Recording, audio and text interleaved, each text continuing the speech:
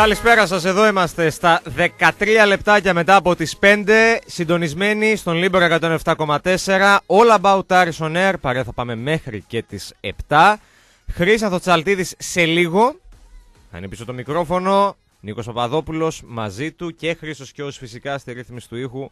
Σήμερα 5η 27 του Σεπτέμβρη στον απόηχο ενός ε, τοπικού ντέρμπι, ενός ε, Κάρις που ε, είχε πολλά τα οποία θα σχολιάσουμε στην ε, πορεία της ε, εκπομπής, κυρίως θετικά για τον Άρη, θα αναφερθούμε βέβαια και στα αρνητικά τα οποία είδαμε, ήταν πάντως ένα, ένα ωραίο ντέρμπι, ένα ντέρμπι που τα είχε όλα και έναν Άρη που σε κάθε περίπτωση έχει το δικαίωμα να νιώθει αδικημένος ε, σε ένα βαθμό από το τελικό αποτέλεσμα, από αυτό το 1-1 το οποίο έφερε με τον ε, ΠΑΟΚ. Θα μιλήσουμε και για μπάσκετ, γιατί αύριο έχουμε αγωνιστική δράση για τον μπασκετικό Άρη, ο οποίος υποδέχεται την Νίσνη Νόβγκοροτ στις 7.30 στον Ιγκάλης Χολ, στον επαναληπτικό το αγώνα ε, της Ρωσίας, ε, πριν από δύο ημέρες. Θα έχουμε μια συνέντευξη μετά τις 5.30, μια μπασκετική παρένθεση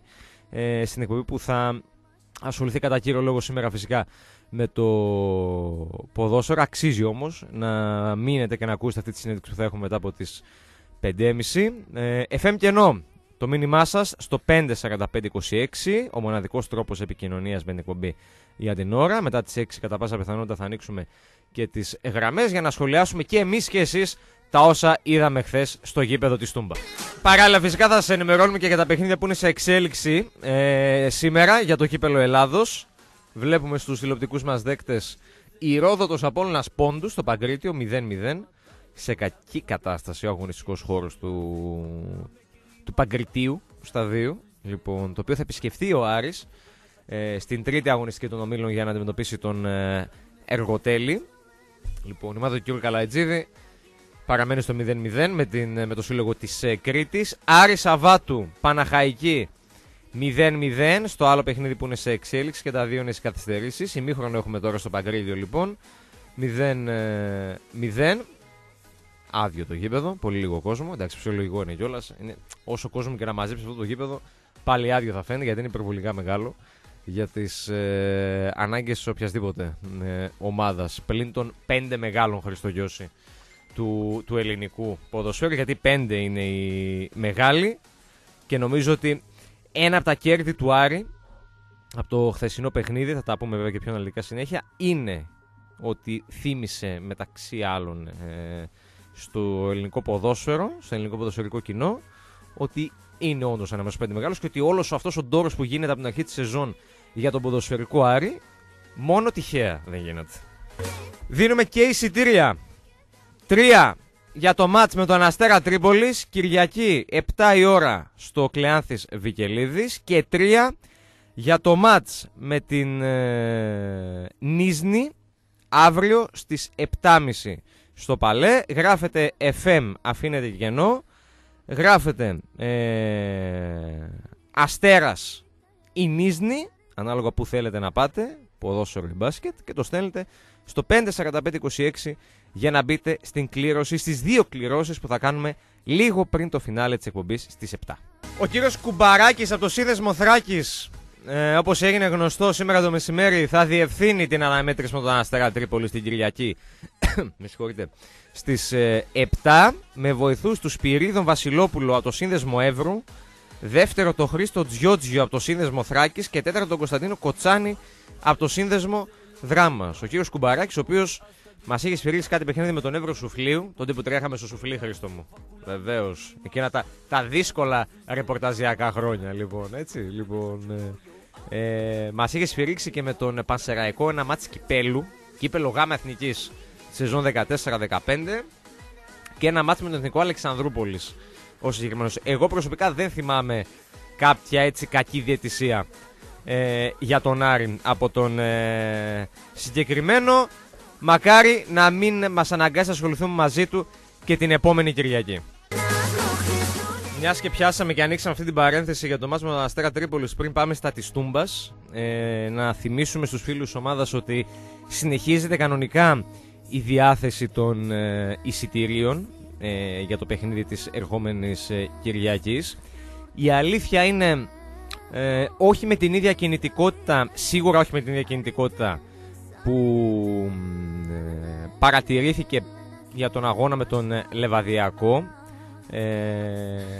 λογικό βέβαια, αν και σήμερα υπήρξε έτσι μια άνοδος, να το πω έτσι, στην διάθεση των εισιτηρίων λόγω και της ε, ισοπαλίας χθες στην ε, Τούμπα που δεν είναι επιτυχία έτσι, βάσει της εικόνας του, του παιχνιδιού ε, αλλά και της εικόνας που έδειξε ο Άρης ε, μόλις λίγες ημέρες μετά από το μάτς κόντρα στον Μπαζ Γιάννενα. Νομίζω λοιπόν ότι ε, ίσως το μεγαλύτερο κέρδος του Άρη ε, υπάρχουν βέβαια πολλά θετικά και στο τελικό ταμείο του χθεσινού αγώνα ο Άρης έχει περισσότερα συν παρά πλην. Αλλά νομίζω ότι το μεγαλύτερο κέρδος της ε, ομάδας από το παιχνίδι με τον ΠΑΟΚ είναι αυτή η αντίδραση που έβγαλε, αυτά τα, τα αντανακλαστικά τα οποία έδειξε η ομάδα του Πάκο Ερέρα μόλις λίγα 24 ώρα μετά από ένα άσχημο αποτέλεσμα ε, όπως αυτό κόντρα στον ε, Πας Γιάννενα και ε, έχοντας η ομάδα ε, και λίγες ημέρες θα χειριστεί αυτό το αποτέλεσμα, αυτή την ε, κατάσταση που δεν την πήρε από κάτω βέβαια, αλλά σίγουρα προβλημάτισε και τους παίκτες και τον προπονητή και το αποτέλεσμα κυρίως η εικόνα της ομάδας. Αλλά έδειξε αντανακλαστικά ενώ είχε να διαχειριστεί αυτή την κατάσταση για πρώτη φορά τη φετινή σεζόν. Θυμίζω ότι ο Άρης και στα φιλικά που είχε δώσει στο πλαίσιο της προετοιμασίας του, αλλά και στα επίσημα παιχνίδια μέχρι εκείνο των ζωσιμάδων ήταν αίτητος. Λοιπόν, ε, και ήταν πολύ ψηλά πνευματικά, ε, ψυχολογικά πείτε το όπως ε, θέλετε και κλείθηκε για πρώτη φορά να διαχειριστεί μια τέτοια κατάσταση, ένα τέτοιο άσχημο αποτέλεσμα. Συν την κακή εικόνα της ομάδας στους ζωσιμάδες. Μέσα σε λίγες μέρες λοιπόν, το, το κινητό σταθερό ποτέ. Λοιπόν, μέσα σε λίγες μέρες λοιπόν, ε, διαχειρίστηκε και ο προπονητής και οι παίχτες το συγκεκριμένο αποτέλεσμα. Και είδαμε τον, ε, τον Άρη χθες στην Τούμπα να βγάζει αντίδραση, να προσπαθεί για μία ακόμα φορά να παίξει ποδόσφαιρο, με τις καλές και τις κακές του στιγμές στο παιχνίδι, αλλά νομίζω ότι και το είδανε και όλοι όσοι παρακολούθησαν το μάτς, ε, δεν θα πω από το γήπεδο, θα πω οι φίλοι του Άρη που παρακολούθησαν το μάτς από την τηλεόραση, ε, ότι ο Άρης ε, ήταν καλύτερος του ΠΑΟΚ έστω και στις λεπτομέρειες αλλά ήταν καλύτερος του ΠΑΟΚ στη μεγαλύτερη διάρκεια του παιχνιδιού και κυρίως από το 25 και μετά που έκανε ο ΠΑΟΚ το 1-0 με τον, ε, με τον Μπέλκα και με εξαίρεση εκείνο το πρώτο δεκάλεπτο, τέταρτο περίπου του δευτέρου μηχρόνου που ο ΠΑΟΚ μπήκε πάλι για να πιέσει και εκείνη την φάση την πολύ καλή ευκαιρία με τον Μπέλκα από το λάθος του, του Κολάσο. Ε, από τη στιγμή που ήρθε και η αποβολή του Κίτσιου και το αριθμητικό πλεονέκτημα για τον Άρη, η ομάδα του Ερέρα ήταν καλύτερη, πατούσε καλύτερα στον αγωνιστικό χώρο της ε, Τούμπας. Δεν εκμεταλλεύτηκε βέβαια το αριθμητικό πλεονέκτημα που είχε και τους χώρους, τους περισσότερους χώρους που βρήκε μέχρι το φινάλε του παιχνιδιού. Είναι από τα αρνητικά αυτό, αλλά από τη στιγμή που τα θετικά είναι περισσότερα, νομίζω ότι λίγη σημασία έχει.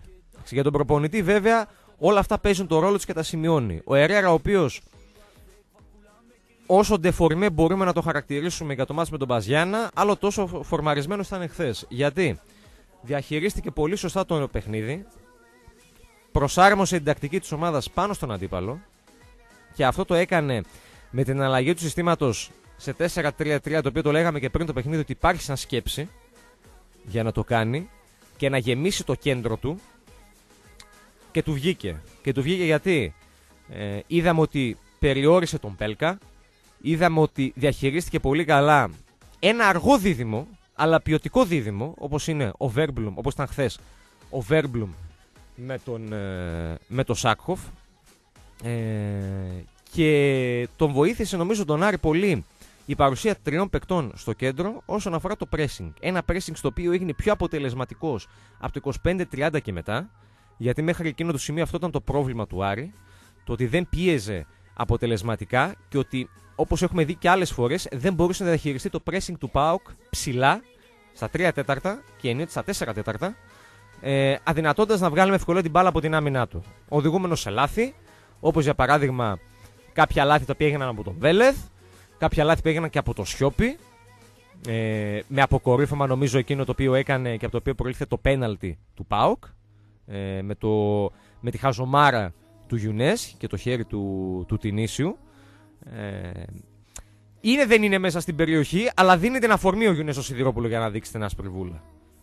Και να κάνει ο Πάκου το 1-0 με τον, ε, με τον Μπέλκα. Ο Άρης όμως δεν έπεσε μετά από τον γκολ του Πάουκ. Έβγαλε αντίδραση μες στο γήπεδο. Πήρε μέτρα. Εκμεταλλεύτηκε το ότι ο Πάουκ εμφάνισε έτσι σημάδια καθίζησης. Έγινε πιο αποτελεσματικός στο pressing του. Και ένα pressing που γινόταν σε πιο σωστούς χρόνους. Και ήρθε αυτό το λάθος από τον Χατσερίδη. Που παίρνει Χρήστο Κιώση 1,3. Και, και έρχομαι και ρωτάω εγώ τι έχει να ζηλέψει ο Βέλεθ από τον Χατσερίδη. Λοιπόν, και έγινε το, το 1-1 και σε πολύ καλό χρονικό σημείο για τον Άρη, λίγο πριν πάνε ομάδες από διτήρια. Του έδωσε ψυχολογία και φάνηκε νομίζω και στο, και στο δεύτερο ημίχρονο. Εκεί όπου μετά την αποβολή του Κίτσου κιόλας, ε, ο Άρης ε, πήρε τον έλεγχο του παιχνιδιού. Όχι πως ο Πάκ βέβαια δεν υπήρχε. Ο Πάκ προσπαθούσε προσ... κυρίως ε, προσπαθούσε να εκμεταλλευτεί την ποιότητα των ποδοσφαιριστών του να δημιουργήσει επικίνδυνες καταστάσεις και να φτάσει σε ένα δεύτερο γκολ και μέσα από κάποιες στατικές φάσεις, κυρίως κόρνερ τα οποία κέρδιζε. Η άμυνα του Άρη καθάριζε όποια φάση πήγαινε να δημιουργηθεί. Γιατί ο Πάκ δεν απείλησε στο δεύτερο ημίχρονο, με εξαίρεση εκείνη τη φάση του Πέλκα. Και στο πρώτο είχε την κεφαλιά του, του Σάκχοφ και το, και το γκολ του Πέλκα, έτσι. Λοιπόν, δεν είχε κάτι άλλο να παρουσιάσει. Δημιούργησε κάποιες επικίνδυνες καταστάσεις και στο πρώτο μέρος, όχι τελικές, που πάλι όμως εκεί η άμυνα του Άρη και ο Βέλεθ με τον Μαύρα, που και αυτός ήταν θετικός στον τεμπούτο του, αν και ανέτοιμος, ε, αποσοβούσε τον οποιοδήποτε κίνδυνο. Ε, γι' αυτό λέμε ότι ο Άρης θα μπορούσε να πάρει κάλλιστα και το διπλό. Ήταν μια ευκαιρία. Όχι πως θα έκανε βέβαια στο τέλος τη ημέρας κάποια διαφορά αν κέρδιζε ή όχι όσον αφορά το κομμάτι της πρόκρισης, γιατί και οι δύο θα προκριθούν. Ε. απλά πεζόταν η Σουνισία η πρώτη θέση στο ντερμπι της Τούμπας. Απλά έτσι όπω εξελίχθηκε το παιχνίδι και με τον Άρη να βρίσκει και απαντήσει με τον γκολ του Ματέο και να έχει και δύο-τρει κλασικές ευκαιρίες για να σκοράρει στο δεύτερο μέχρι με κορυφαίες του Κολάσο, στο, του, Κολάσο, του Γκαρσία στο 71 και εκείνη τη φάση με το Σόουζα στις αρχές του δευτέρου μηχρόνου, θα μπορούσε να πάρει κάλλιστα το μάτς. Για μένα ο Άρης δεν εκμεταλλεύτηκε τους πολλούς περισσότερους ε, ανοιχτούς χώρους που του έδωσε ο Πάοκ μετά την αποβολή του Κίτσου, γιατί ο Πάοκ δεν κλείστηκε πίσω και άφηνε χώρους πίσω και με αριθμητικό μειονέκτημα μάλιστα. Ε, εκεί ίσως, τουλάχιστον δικιά μου γνώμη του Ερέρα, θα μπορούσε ενδεχομένως να πετάξει και πιο νωρίς τον την κοινή στο παιχνίδι να εκμεταλλευτεί την ταχύτητά του και τα τρεξίματά του, γιατί θα ήταν ένας παίχτης φρέσκος από τον πάγκο απέναντι ε, σε μια άμυνα ε, κουρασμένη. Όσο να είναι, μετά από 60-70 λεπτά αγώνα. Το έκανε στο 82 που πάλι σαν σκέψη ήταν πολύ σωστό να το κάνει και να γυρίσει το σύστημα σε 4-2-3-1 δίνοντας έναν εξτρά παίκτη στην επίδεση της ομάδας για να χτυπήσει πιο πολύ το παιχνίδι ε, λίγο πριν το φινάλε του. Ακόμα όμως και το ότι μπορεί ενδεχομένως να άρχισε λίγο δεν αναιρεί τον πολύ σωστό τρόπο που προσέγγισε το μάτς και ο ίδιος ε, και ο Τόλης ο Τεργής ο άμεσος, ο άμεσος ε, συνεργάτης του. Ε, και για πρώτη φορά σε επίσημο παιχνίδι που είδαμε τον Άρη να παίζει με 4-3-3 από την αρχή του παιχνιδιού και στη μεγαλύτερη διάρκεια του παιχνιδιού, ε, φάνηκε να αποδίδει και φάνηκε να αποδίδει γιατί ήταν η απάντηση στον τρόπο παιχνιδιού του αντιπάλου. Ένας Πάκο ο οποίος έχει ως πολύ καλά του του παιχνιδιού του ε, την καλή κυκλοφορία σε μικρούς ε, χώρους, το pressing, το ασφυκτικό pressing που μπορεί να ασκήσει κάποιες φορές. Ο Άρης ανταποκρίθηκε Βρήκε τον τρόπο να ισοφαρίσει. Είπαμε, θα μπορούσε να πάρει και την, ε, και την νίκη. Στο τέλος δεν τα κατάφερε. Είναι όμως το ταμείο συν για την ομάδα. Τώρα, όσον αφορά τα πλήν, γιατί πάντα υπάρχουν και αυτά, είναι τα λάθη που έκανε ε, στο πρώτο ημίχρονο η ομάδα εκεί πέρα στο πρώτο τρίτο 20 λεπτό, προσπαθώντας να βρει τα πατήματά της, την ψυχραιμία της και το καθαρό μυαλό στον αγωνιστικό χώρο. Ε, το ότι είπαμε δεν εκμεταλλεύτηκε τους πολλούς χώρους που έδωσε ο Πάκ μετά την αποβολή του Κίτσιου ή ακόμα και το χτίσιμο των επιθέσεων από πίσω. Γιατί ο Άρης πάλι προσπάθησε να, να παίξει ποδόσφαιρο. κάποιες φορές το κατάφερνε και έβγαινε έτσι με ένα σωστό χτίσιμο επίθεση, με ένα build-up που λένε και οι προπονητές στο Γιώση. Από, την, από τον τερματοφύλακα στην άμυνα και συνέχεια στην, ε, στην επίθεση. Φαίνεται όμως πάλι ότι η ομάδα θέλει δουλειά σε αυτό το κομμάτι. Το έδειξε. Γιατί ο Άρης περισσότερες φορές που πήγε να γίνει απειλητικός και να κάνει κάτι ήταν όταν έκλεβε την μπάλα μετά από ένα αποτελεσματικό pressing και όχι ξεκινώντα μια επίθεση από πίσω. Εκεί θέλει δουλειά ακόμα σε αυτό το κομμάτι. Όπως θέλει δουλειά και στο επιθετικό transition όταν ο αντίπαλος τον πιέζει και δυσκολεύεται ο Άρης να βγάλει την μπάλα από την άμυνά του. Εκεί δεν μπορεί δηλαδή να βγάλει μέσα από συνδυαστικό ποδόσφαιρο, μέσα από αυτοματισμούς ε, την μπάλα και να βγει γρήγορα στην επίθεση. Αυτό δηλαδή το οποίο επίσης κάνει ο Πάοκ και το αναφέρω γιατί είναι ο αντίπαλος ομάδας θε πολύ αποτελεσματικά. Εντάξει. Και επειδή κάποιοι ας πούμε λένε για rotation του ΠΑΟΚ ε, σίγουρα ήταν μια δεκάδα την οποία μπορεί να μην ξαναδούμε από πλευράς ΠΑΟΚ την ε, φετινή σεζόν. Αλλά έπαιζε παίχτες, έπαιζαν παίχτες όπως ο Χατσερίδης ο οποίος παίρνει 1,3 ευρώ το χρόνο 1,3 εκατομμύρια ευρώ το χρόνο. Έπαιζε ο Βέρμπλουμ, έπαιζε ο Σάκχοφ ε, έπαιζε ο Καρέλης μπροστά ο οποίος κλείστηκε πολύ καλά και από τον Μαύραη και από τον Βέλεθ. Έπαιζε ο Ζαμπά. Έπαιζε ο Ελκαντορή. Παίχτες που όλοι αυτοί είτε έχουν βρεθεί στο βασικό σχήμα του Πάκου, είτε θα βρεθούν στο βασικό σχήμα του Πάκου στην πορεία της ε, σεζόν. Και είδαμε και τον ε, Λουτσέσκου με το ξεκίνημα της επανάληψης θα και τον Μπίσες, να βάζει και το Μάτος, να βάζει και τον Πρόγευση συνέχεια του παιχνιδιού. Εντάξει. Ε, ο Πάουκ, για να κάνω έτσι και ένα μικρό σχόλιο, γιατί ήταν και αντίπολο του Άρη, ε, στα δικά μου μάτια τουλάχιστον μοιάζει μπλοκαρισμένος ε, και κάπως μαγκωμένος να το πω γιατί είχε προετοιμαστεί για τα παιχνίδια του Champions League και πλέον αυτό φαίνεται. Και του δημιουργεί ένα πρόβλημα. Ένα πρόβλημα το οποίο και ο Άρης προσπάθησε να εκμεταλλευτεί χθες. Κάλεσε θα μπορούσε να πάρει το διπλό. Δεν τα κατάφερε. Πήρε όμως ένα αποτέλεσμα ψυχολογίας. Πήρε. Ε, έδειξε αντανακλαστικά. Επαναλαμβάνω μετά από ένα άσχημο αποτέλεσμα όπως αυτό κόντρα στα, στα Γιάννενα. Και Φάνηκε χθες, νομίζω, για να το κλείσουμε κιόλας. Θα τα πούμε βέβαια πιο αναλυτικά συνέχεια και με τον Χρήσανθο. Ε, ο χαρακτήρας και το μέταλλο και της ομάδας και του προπονητή ως συνολική αντίδραση μετά την ήττα στα Γιάννενα. Και σε ένα παιχνίδι όπως αυτό με τον Μπάουκ, άσχετα που δεν υπήρχε έτσι ένα έπαθλο να το δω, δεν, δεν παίζονταν κάποια πρόκριση ή κάτι άλλο σημαντικό. Ήταν ένα τοπικό ντέρμπι. Και σε ένα τοπικό ντέρμπι παρόλο που δεν κρίνεται κάτι, δεν μπορείς να είσαι χαλαρός. Ο Άρης απεξήλθε σε αυτή την ε, κατάσταση. Και έδειξε το μέταλλο και το χαρακτήρα που διαθέτει ως ε, ομάδα. Και είναι πολύ σημαντικό. Υπάρχει πλέον το παιχνίδι με την Τρίπολη, θα τα πούμε και πιο αναλυτικά και σήμερα και αύριο φυσικά. Ε, το οποίο θα γίνει απόντος του, του Μπρούνο Γκάμα, ο οποίος ήταν έτσι η απουσία, η, ο τραυματισμός του σημάδεψε το παιχνίδι το χθεσινό, λίγο πριν το φινάλε του αγώνα. Πάμε στο break Χρήστο Κιώση και επιστρέφουμε σε λίγο με τη συνέχεια της εκπομπής. Εδώ είμαστε, επιστρέψαμε. Λίμπερο 107,4, All About Aris on Air. Όλα θα μας τα πάρουν. Όλα θα μας τα πάρουν. Νίκος Παπαδόπουλος στα μικρόφωνα. Ο γνωστός. Κληρώνουμε τρία εισιτήρια για Άρης Αστέρας Τρίπολης και άλλα τρία για Άρης Νίζνη. Γράφετε FM, αφήνετε κενό. Γράφετε Αστέρας αν θέλετε να πάτε στην μπάλα. Ναι. Νίζνη αν θέλετε να πάτε στο μπάσκετ. Αν θέλουμε να γράψουμε μπάλα ή μπάσκετ, μπορούμε. Πρέπει να στείλεις ρε φίλε ένα για μπάλα, ένα για μπάσκετ. Ο φίλος εδώ που έχει στείλει Αστέρας, Αστέρας και δεν έχει γράψει το ονοματεπώνυμό του όμως. Ναι, εσύ φίλε. Δύο είναι κιόλας. 2,43 και 501 να στέλνετε λίγο και το ονοματεπώνυμό σας, έτσι. Ο λοιπόν... μεγάλος, Απόλο, ο μεγάλος ναι. Απόλλων Πόντου ναι. προηγείται 1-0 στο... του Ηρωδότου. Ωραία. Για το κύπελο Ελλάδος. Λοιπόν, ε, πάρτε αυτά.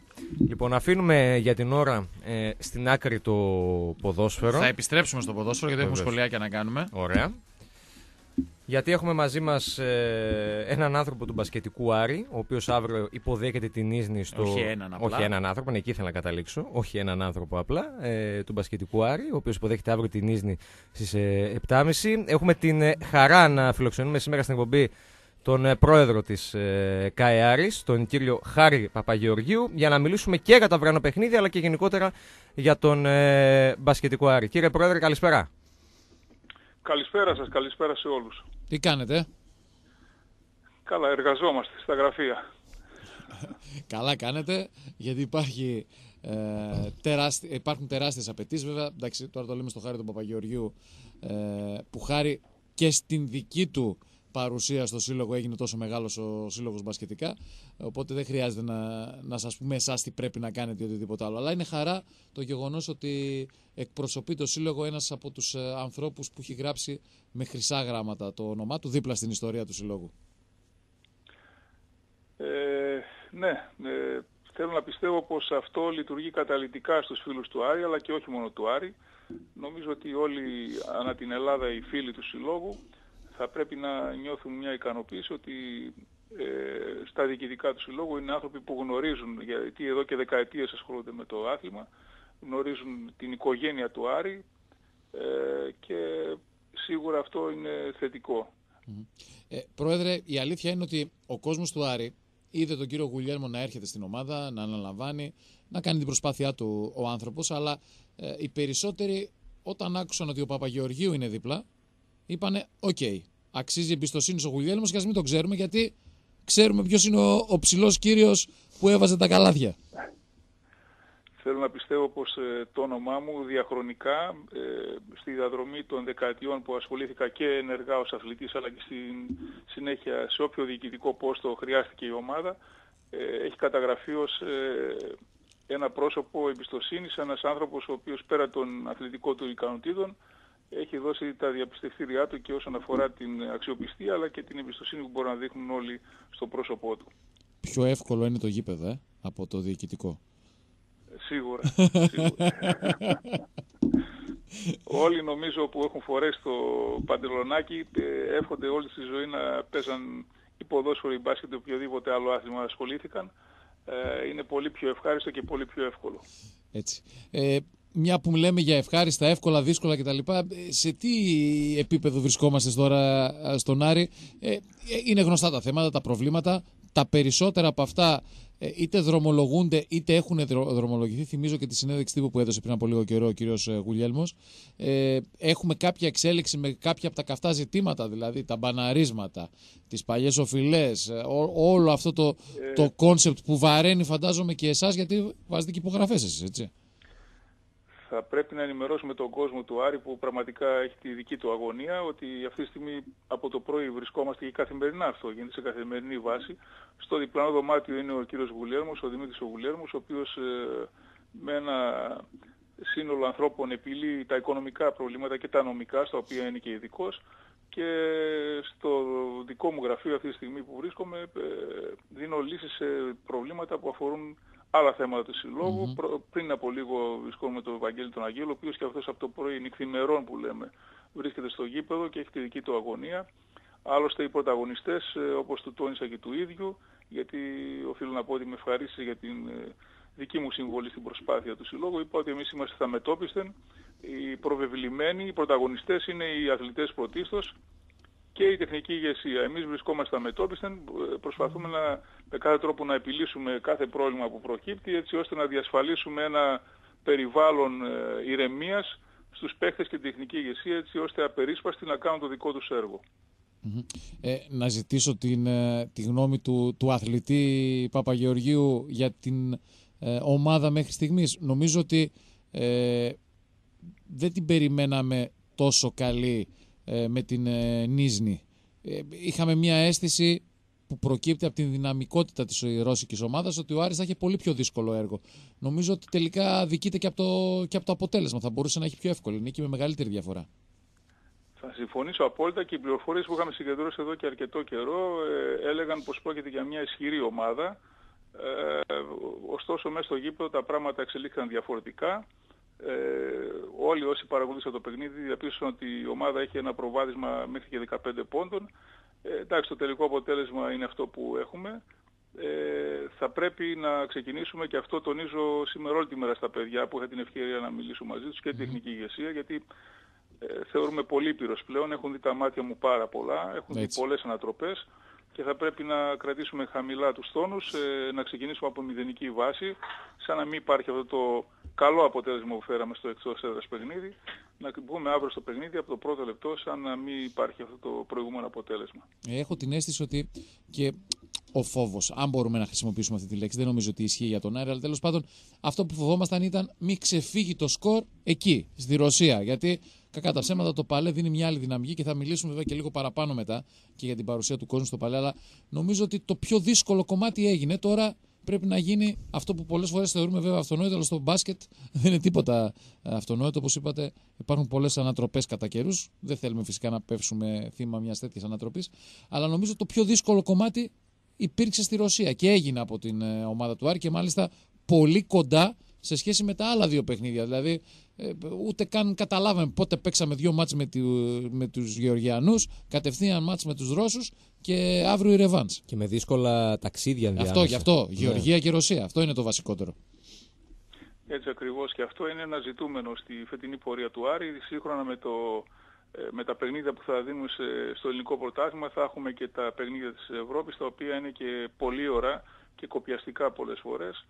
Ε, πιστεύω πως όλα θα πάνε καλά. Αρκεί ε, να συνεχίσουμε την ίδια συνταγή, δηλαδή σοβαρότητα, αυτοσυγκέντρωση, ε, χαμηλούς τόνους και πολλή δουλειά, πάρα πολλή δουλειά. Mm. Και στην προπόνηση και στο παιχνίδι μέσα. Πάντως, ε, όποτε ο Άρης η Παγεωργίου έχει βρεθεί έτσι σε δύσκολες καταστάσεις, ε, έχει βγει, πάντα βγαίνει κάτι καλό στην επιφάνεια. Και τώρα φαίνεται ότι πάει να γίνει πάλι το ίδιο. Αυτό το καλό είναι μια επίπεδη εικόνα που αποτυπώνεται και βλέπουν ε, κυρίως οι φίλαθλοι. Ναι. Ε, για μας που δουλεύουμε πολλές ώρες καθημερινά στα γραφεία και στο γήπεδο ναι. σημαίνει πολλή δουλειά. Πολλή δουλειά που δεν φαίνεται βέβαια στον κοσμο και ενδεχομένως δεν τον αφορά. Ο κόσμος θέλει μέσα στο γήπεδο η ομάδα να πηγαίνει καλά, να κερδίζει. Το ε, ακριβώς, ναι. Γι' αυτό είπα, πρόκειται για μια εικόνα. Αλλά πίσω από την εικόνα αυτή ε, σημαίνει δουλειά πολλών ανθρώπων και πολλές ώρες καθημερινά. Πολύ μόχθο, πολλή αγωνία αλλά αυτό όπως είπα δεν ενδιαφέρει ενδεχομένως τον κόσμο. Ο κόσμος θέλει να βλέπει την ομάδα να κερδίζει. Ένα κόσμο τον οποίο φαντάζομαι ότι την παρουσία του οποίου περιμένει σε πολύ μεγαλύτερο βαθμό από αυτόν κόντρα στην ε, δυναμό Τυφλίδας. Έτσι, φυσιολογικό. Πριν λίγες μέρες. Ε, κοιτάξτε τώρα, ε, χτίζουμε καθημερινά μέρα με τη μέρα το νέο Άρη. Αυτό σημαίνει επίπονη προσπάθεια και προσπάθεια πολυεπίπεδη. Χρειάζεται υπομονή από όλους και πρωτίστως από τον κόσμο, ο οποίος έχει πάντοτε πολλές και υψηλές απαιτήσεις και καλά κάνει. Ε, θα πρέπει οι φίλοι του Άρη όμως να έχουν υπόψη τους ότι εδώ στα γραφεία και μέσα στο γήπεδο υπάρχουν άνθρωποι αφοσιωμένοι που δουλεύουν καθημερινά πολλές ώρες για το καλό του Άρη. Να έχουν εμπιστοσύνη σε αυτούς τους ανθρώπους, θέλουμε τη στήριξή τους. Ε, πιστεύω πως ε, η απογοήτευση που υπήρχε πριν από λίγους μήνες ε, πρέπει σιγά σιγά να αντικατασταθεί με μια εμπιστοσύνη, με ένα πνεύμα αισιοδοξίας. Έχει ξεκινήσει μια νέα εποχή για τον Άρη. Αυτό αποδεικνύεται σιγά σιγά με τα αποτελέσματα. Θέλει βέβαια δουλειά και από τους παίκτες και την εθνική γνησία έτσι ώστε να επιστρέψουν σιγά σιγά οι φίλαθλοι οι οποίοι είναι δεδομένο ότι στηρίζουν σε κάθε περίπτωση και στα δύσκολα και στα εύκολα και στα καλά την ομάδα.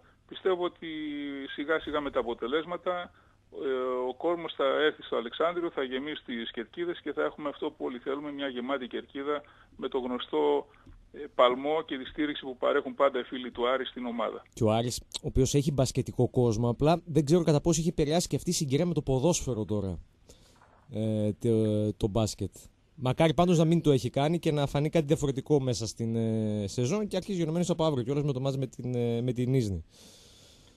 Εγώ θεωρώ ότι οι Αριανοί, είναι, Αριανοί υποστηρίζουν σε κάθε άθλημα τις προσπάθειες ε, των παιδιών, των αθλητών που φορούν την κίτρινη φανέλα. Ε, για μένα ε, το, το αισιόδοξο σενάριο, το καλό σενάριο είναι να πηγαίνουν όλα τα τμήματα του συλλόγου καλά. Έτσι προσλαμβάνω εγώ τον Άρη και έτσι τον θέλω. Μεγάλο σε όλα τα τμήματα. Δεν νομίζω ότι υπάρχει ανταγωνιστική σχέση ανάμεσα σε ποδόσφαιρο και μπάσκετ, αλλά μόνο. Ναι. Νομίζω ίσα ίσα που οι νίκες ε, στο ποδόσφαιρο τροφοδοτούν και μια αισιοδοξία και ένα ενθουσιασμό και για τον μπάσκετ όπως και αντίστροφα. Mm. Το μπάσκετ για πολλά χρόνια, όταν και το ποδόσφαιρο ήταν στα δύσκολά του, ε, στήριξε την περηφάνεια του, των Αριανών και έτσι ώστε κρατήθηκε ψηλά το φρόνημα για τον, και την αγάπη για τον Άρη.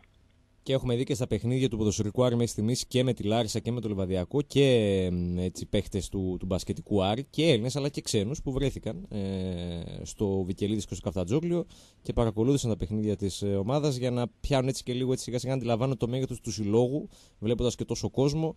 Και είναι και αυτό δείχνει το, την ενότητα και το καλό κλίμα που υπάρχει ανάμεσα σε όλα τα τμήματα της, ε, της έτσι ακριβώς, έτσι ακριβώς είναι. Έχουμε ενημέρωση για το πότε θα ανακοινωθεί το, το νέο ΔΣ, γιατί είπε ο κύριος Γουλιάνης πριν από λίγες μέρες ότι εντός των ημερών έχουμε κάτι νεότερο ή θα περιμένουμε τον κύριο Γουλιάλμο λίγο ακόμα; Δουλεύουμε για το νέο σχήμα. Ε, έχουμε κάνει επαφές με προσωπικότητες της πόλης, ε, όχι μόνο ε, καθαρά ε, αριανούς παράγοντες, αλλά και προσωπικότητες της πόλης, προεβλημένους ανθρώπους που είναι πετυχημένοι στη, στα επαγγελματικά τους, στις επαγγελματικές τους διαδρομές. Ε, θα αποφασιστεί σύντομα το νέο σχήμα.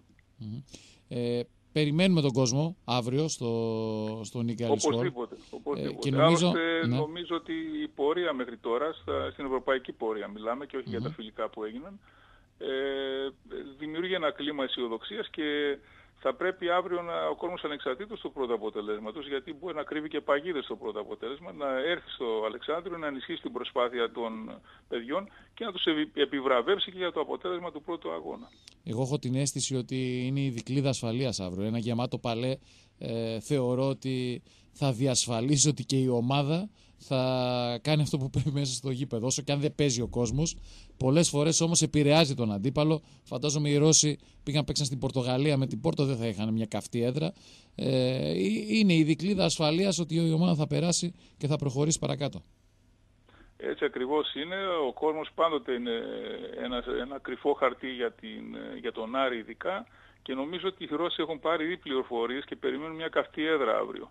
Δηλαδή είναι προετοιμασμένοι ότι το Αλεξάνδριο θα έχει κόσμο και θα είναι μια έδρα όπως την ξέρουμε εμείς ε, οι Θεσσαλονικείς και οι Έλληνες.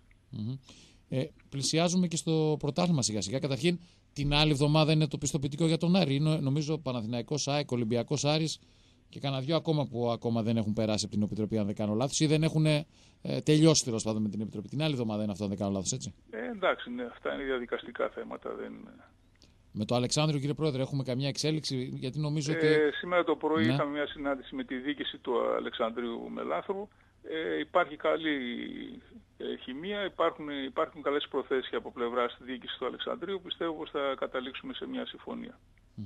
Ε, νομίζω τώρα ότι και, και η διοίκηση του Αλεξανδρίου πρέπει να το αντιληφθεί, αλλά ε, δεν ξέρω τώρα, ε, εσύ ειδικά Γάρη και αν έχεις παίξει ε, και σε αυτό το γήπεδο και, και με τη φανέλα του Άρη, ε, νομίζω ότι είναι αδικημένος ο Άρης ε, με βάση όλα όσα βλέπονται να γίνονται και δεξιά και αριστερά ε, και έχω την αίσθηση ότι αντί να επιβραβεύεται ο σύλλογος για όσα έχει προσφέρει στο μπάσκετ, συνολικά ως σύλλογος, αλλά ειδικά το τμήμα μπάσκετ, ε, πληρώνει και διπλάσια και τριπλάσια από ό,τι πληρώνουν οι άλλοι. Δηλαδή, εντάξει, είναι λίγο και ο παραλογισμός του ελληνικού κράτους αυτό. Ε, το έχω τονίσει πολλές φορές και νομίζω ότι είναι αντιληπτό από όλους τους ε, φιλάθους, ιδιαίτερα του Άρη, ότι στα χρόνια που μεγαλουργούσε ο Άρης είναι από τα κομμάτια που δεν φρόντισε να τακτοποιήσει η τότε διοίκηση και ήταν μια μεγάλη ευκαιρία τότε, γιατί όλη η Ελλάδα ε, παρακολουθούσε και ήταν Άρης. Ε, τότε έπρεπε να έχει λυθεί αυτό το θέμα του, της έδρας, να παρακολουθεί για πολλά χρόνια ε, το Αλεξάνδριο Μέλαθρο, μιας και ήταν η φυσική έδρα του Άρη.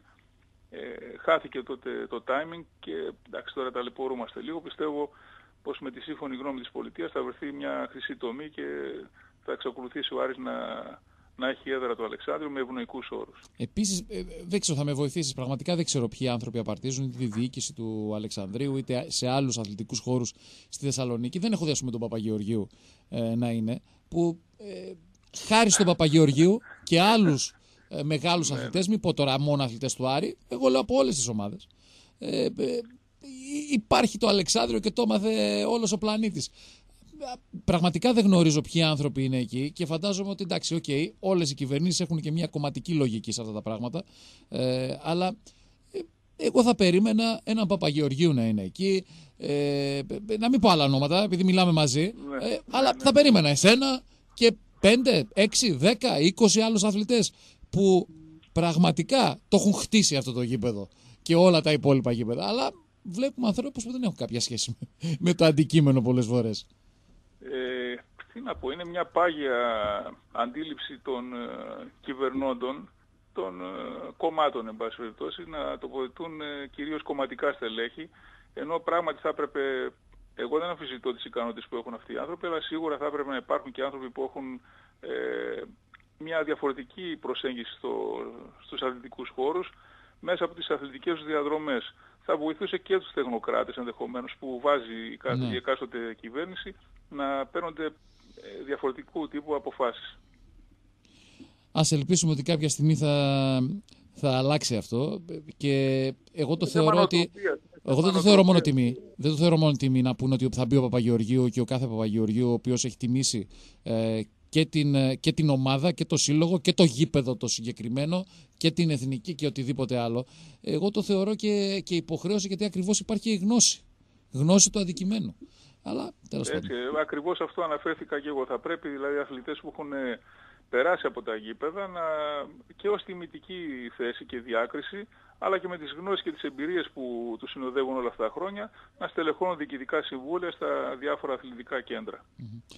Ωραία, θα, θα δούμε πώς θα εξελιχθεί. Το, αυτή τη στιγμή αυτό που μας καίει είναι να έχει ο Άρης μια αντιμετώπιση που αρμόζει στην ε, ιστορία του και να γίνει μια σύμβαση πολύ καλύτερη σε σχέση με αυτό το, το οποίο έγινε πέρσι, να μην το χαρακτηρίσω, αλλά έγινε περισσότερο από ανάγκη αυτό το οποίο έγινε πέρσι, γιατί έπρεπε να πάρει η ομάδα το, το πιστοποιητικό συμμετοχή στο πρωτάθλημα και γι' αυτό υπέγραψε αυτό το οποίο υπέγραψε ε, τελευταία στιγμή. Το ραντεβού είναι αύριο στις 7.30, να το πούμε, στο Nick Gallis Call και ετοιμαζόμαστε για πρωτάθλημα σιγά σιγά. Σιγά σιγά ναι βέβαιως. Παίρνουμε σε ρυθμούς πρωταθλήματος. Ε, εγώ σε κάθε περίπτωση και με την τεχνική ηγεσία και με τους αθλητές που έχω τη χαρά να συνομιλώ καθημερινά λέω ότι ε, πρέπει να έχουμε χαμηλά τους τόνους, πολλή δουλειά και στοχοπροσύλωση. Ε, όλα θα πάνε καλά. Είμαι αισιόδοξος. Με τελευταία ερώτηση. Έχεις υπολογίσει πόσους πόντους παραπάνω θα έχεις αν υπήρχε τρίποντο; Όχι, δεν μπαίνω σε αυτή τη διαδικασία γιατί είναι κάτι που ε, εντάξει έχει περάσει. Ίσως οι ιστορικοί μπορούν να τα καταγράψουν αυτά σαν στοιχεία. και Ψιλοάδικο σαν είναι. Στατιστικά. 4-5 χιλιαδίτσε άνετα. Γεννήθηκα ε, εκεί- σε εκείνη τη συγκεκριμένη εποχή στο συγκεκριμένο ιστορικό κοινωνικό πλαίσιο όπως συνηθίζω να λέω. Έτσι. Ωραία. Ε, πρόεδρε, να σε ευχαριστήσουμε πολύ. Ε, ελπίζουμε Χάρηκα να, πολύ για να την υπάρχει συζήτηση που ανταπόκριση είχαμε. στην προσπάθεια που γίνεται Και εγώ- στην, και ε, εγώ- στην και ΚΑΕ Εγώ το ελπίζω. και κάποια στιγμή να δούμε τον Άρη να διεκδικεί και πάλι τίτλους γιατί αυτό είναι το DNA του συλλόγου και αυτοί είναι και οι αθλητές όπως εσύ που έχει βγάλει ο σύλλογος στην πορεία του όλα αυτά τα, όλα αυτά τα χρόνια. Ευχαριστώ για τη συνομιλία. Είμαι στη διάθεσή σας πάντοτε και σίγουρα ε, κλείνοντας θα πρέπει να πω και εγώ ότι εύχομαι αύριο να έρθει πολλοί κόσμος στο Αλεξάνδριο γιατί τα παιδιά το αξίζουν. Αξίζουν τη συμπαράσταση του λαού του Άρη. Να είστε καλά, καλή συνέχεια. Ευχαριστώ θερμά. Να είστε καλά. Αυτά λοιπόν από το Χάρη Παπαγεωργίου, έναν από τους μεγαλύτερους ε, μπασκετμπολίστες ε, στον ελλαδικό χώρο και σίγουρα ένας από τους μεγαλύτερους ε, αθλητές ε, του συλλόγου ε, όχι μόνο στο μπάσκετ, γενικότερα. Εντάξει, είναι αυτή η ατυχία που είχε να βρίσκεται σε μια εποχή που υπήρχε το δίποντο μόνο. Καμιά 4-5 χιλιάδες πονταλάκια θα τα είχε ο Χάρης αν υπήρχε το, το τρίποντο και θα είχε ακόμα περισσότερο αν δεν είχε τραυματίζονταν κιόλας γιατί σταμάτησε και σχετικά νωρίς ε, το μπάσκετ αλλά τεράστια πραγματικά η συμβολή του στον Άρη προσφέρει τώρα από ένα άλλο πόστο. Λοιπόν, Λοιπόν, να πάμε στο δεύτερο break. Δυνατό. Όταν επιστρέψουμε, θα μιλήσουμε. Για Πάο Κάρις θα πάλι- μιλήσουμε. όχι, Πάλι με Style Rocks. πάλι. ναι, ναι, βλέπω Ναι, ναι, πολύ ναι. δυνατό ποτάκι έχει Σπυροπούλου σήμερα. Μοιάζει λίγο με του Χατσερίδη. Δεν είναι λίγο παχουλή. Ό,τι πρέπει. Είναι λίγο. Ό,τι πρέπει Τα έχει τα είναι. κιλάκια έτσι λίγο παραπάνω. Μα αυτό είναι, γήινη. Ναι, δεν Η σου είπα- γυναίκα, αν δεν είναι γήινη, Ναι, δεν πρέπει να- είναι ναι, γυναίκα. Πρέπει να έχεις να πιάνεις. Όπως λέγανε και Δεν παλιοί. ξέρω, Εγώ, εγώ είμαι πολύτεκνος. Εσύ Αυτά είναι- είσαι εσύ είσαι- ελεύθερη. εσύ. Εγώ σχολίασα τον ποτάκι του Χατσερίδη του της Σπυροπούλου. Χατζάκετε λοιπόν. Πάμε break και επιστρέφουμε δεύτερη ώρα. Εδώ είμαστε, επιστρέψαμε λίγο 107,4 στα 15 λεπτά μετά από τις 6 όλα about Ares on Air Χρήσανθος Τσαλτίδης και Νίκος Παπαδόπουλος στα μικρόφωνα της εκπομπής Χρήστος και όσοι στη ρύθμιση του ήχου παρέα θα πάμε μέχρι και τις 7 τρία εισιτήρια για το Άρης Αστέρας Τρίπολης γράφετε FM αφήνετε κενό ονοματεπώνυμο Αστέρας στο 54526 Τρία εισιτήρια για το Άρης Νίσνη FM κενό Ονοματεπώνυμο Νίσνη στο 54526. Θέλετε να μπείτε και στα- για τα δύο, έχουμε κάνει και αυτό εδώ, Χρήσανθέ μου. Να, Ωραία, θέλετε να μπείτε για τα δύο, γράφετε Άρης απλά. άρεσε. Άρης, λοιπόν με FM και ενώ ονοματεπώνυμο Άρης και μπαίνετε στην κλήρωση και για τα δύο στο 545-26. Κλείνουμε αυτή την πασχετική παρένθεση που ανοίξαμε νωρίτερα με τον πρόεδρο της ΚΑΕ Άρης, τον Χάρη Παπαγεωργίου. Πάρα πολύ ευχαριστώ. Καλά τα υποχάρης. Εντάξει, έχει συγκεκριμένες αρμοδιότητες, είναι ξεκάθαρο αυτό. Δεν έχει εμπλοκή ούτε με Επιτροπή Επαγγελματικού Αθλητισμού, ούτε με διάφορα τέτοια θέματα και ζητήματα. Ε, νομίζω ότι με την εμπειρία του βοηθάει και ε, σε καταστάσεις μέσα στην, ε, στην ομάδα που βέβαια αφεντικό είναι ο, ο Αγγέλου.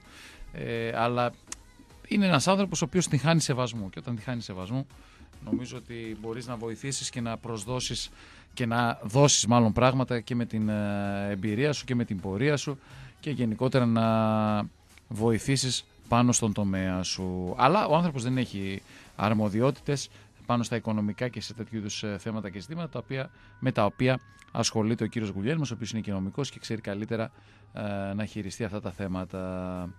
Η ομάδα του Απόλλωνα συνεχίζει να προηγείται με 1-0 του ε, Ηροδότου. Παίζουν και οι δύο ομάδες με 10 παίκτες. Ε, ο Καλαϊτζίδης αποβλήθηκε από την Καλαμαριά, ο Κάκο από τον, ε, από τον Ηρόδοτο και είμαστε στις καθυστερήσεις πλέον. Πρώτο λεπτό καθυστερήσεων, 5 έχει δείξει ο Ρέφερη ε, σε αυτό το παιχνίδι. Επαναλαμβάνω 0-1 εξακολουθεί και προηγείται ο Απόλλωνας Πόντου.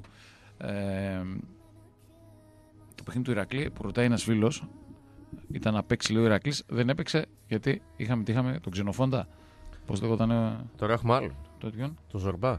Πολύ ωραίοι τέτοιοι. Έχετε λέει Τα μια. ονόματα είναι καταπληκτικά. Ένας, ένας ε, Θα μας κάνει να χορεύουμε. τι; κυκλών, λέει, τι, το, Ναι. το διάβασα με το πρώτο Ανεμοστρόβιλος. Ανεμοστρόβιλος τι είναι. Ε, Ανεμοστρόβιλος, άμα έρθει στην Ελλάδα ανεμοστρόβιλος την κάτσαμε. και λέει ότι είναι για τον λόγο αυτό λέει Ναι, είναι ναι. στον αέρα λέει τα παιχνίδια του Σαββατοκύριακου για τη Super League. Γιατί θα κάνει; Τι θα γίνει, Μποφόρ; Πού ρε φίλε, εδώ στη Θεσσαλονίκη ανεμοστρόβιλο. Κάτσε το διαβάσω Χριστιανέ γιατί το έχουμε βάλει και στο λαμπαουτάρι Ναι, από νωρίς το το διάβα- πρωί. Το είδα. Α, δεν θα γίνουν πτήσει. Το βάλαμε το πρωί στο λαμπαουτάρι. Δεν νομίζω τώρα να προκύψει κάποιο πρόβλημα. Ναι. Αλλά υπάρχει αυτή η ενημέρωση από το πρωί για αυτή την αλλαγή στις. Ναι, κάτι έκανες όμως τώρα και δεν ακούω εγώ. Δεν χρειάζεται. Α, εγώ δεν χρειάζεται να ακούω. Μάλιστα. Αφού μιλάς. Σε λίγο θα ανοίξουμε τις γραμμές όμως και Τώρα Ναι. ακούω. Εντάξει. Τώρα ακούω ακούω. Δόξα τω Θεώ. Ναι. Τα κατάφερες; ναι, πες και τι έγινε με τις, ε, αυτές τις, Λοιπόν. τις πτήσεις; Στον αέρα λέει αγώνες Σαββατοκύριακου λόγω του κυκλώνα Ζορμπά. Τα ακραία καιρικά φαινόμενα και ειδικότερα ο κυκλώνας Ζορμπά δεν. Μου βγάλε τα ακουστικά μου τώρα, ωραία. Ναι. Λοιπόν, που πλήττει τις μεσογειακές χώρες, αναμένεται τις επόμενες ώρες να έρθει και στην Ελλάδα, θέτοντα σε κίνδυνο τη δεξαγωγή των αγώνων του προσεχού Σαββατοκύριακου. Από το βράδυ της Τρίτης, οι καιρικές συνθήκες που επικρατούν στην Ελλάδα και τα έντονα. Μπουφόρ, όπως γράφεται τώρα. Μπουφόρ. Ναι. Έχουν δημιουργήσει Σαν προβλη- αυτόν που έγραψε το πρωί εννοείς ε, μεταφέρθηκε με νοσοκομείο στο νοσοκομείο. Εκεί είναι και εκτιμένη ταχύτητα.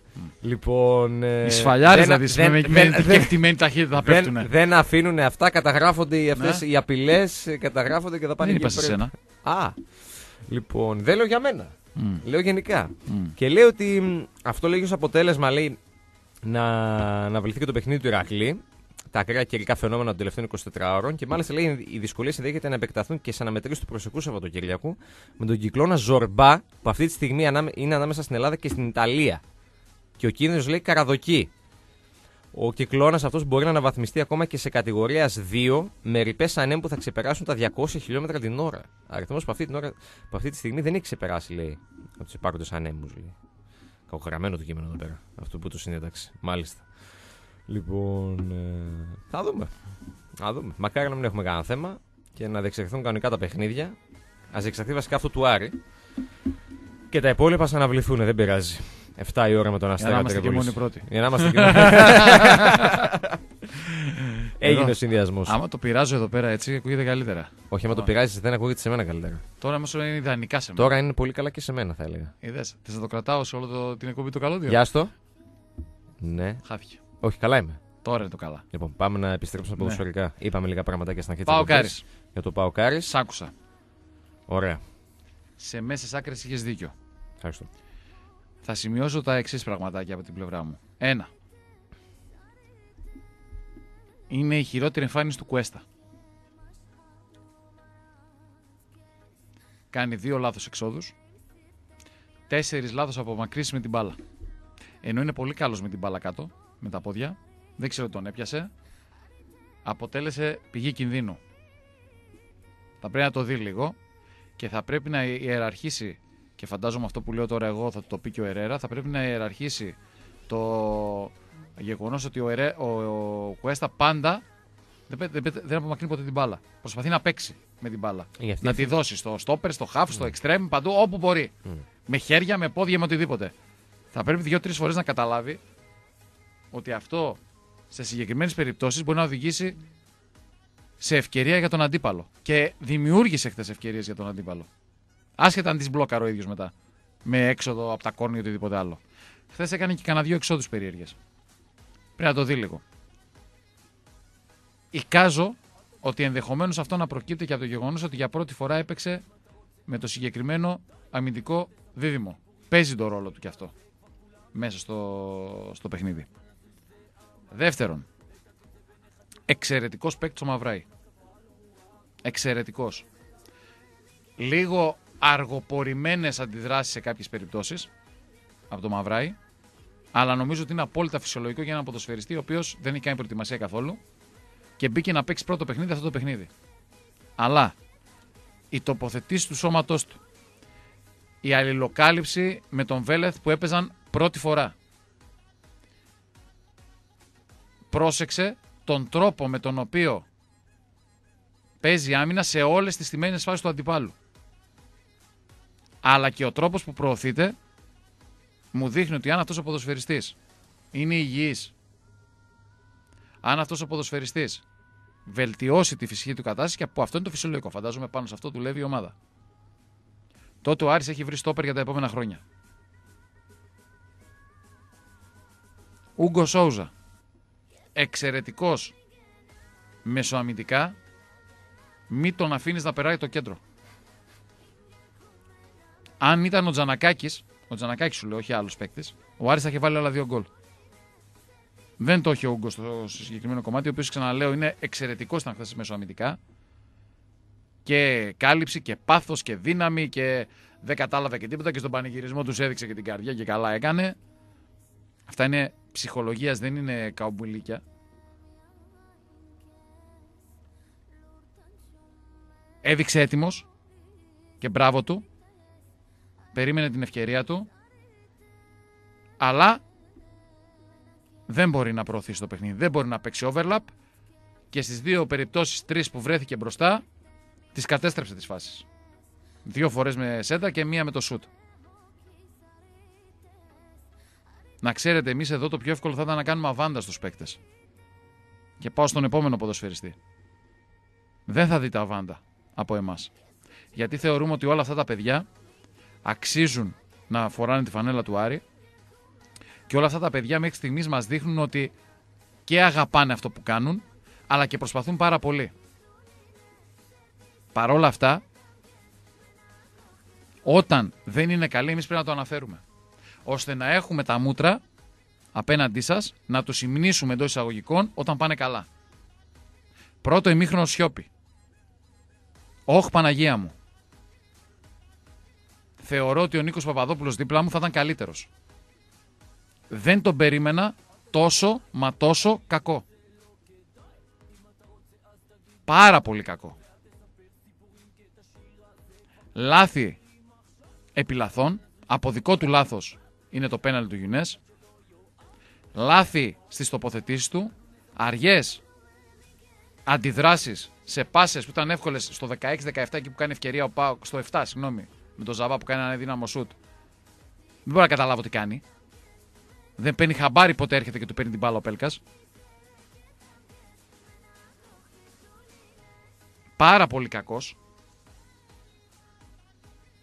Και ευτυχώς το δεύτερο ημίχρονο είναι πάρα πολύ καλός. Γιατί σε λίγο θα νόμιζα ότι πήραμε το Βέρμπλουμ. Θεωρώ φυσιολογικό στα πρώτα του μάτς να μην έχει πατήματα. Αλλά σημειώνω γιατί διάβαζα δεξιά και αριστερά όταν πάρα πολύ καλός ο Σιώπης. Σε ένα μάτς που στο πρώτο ημίχρονο δεν βλέπονταν.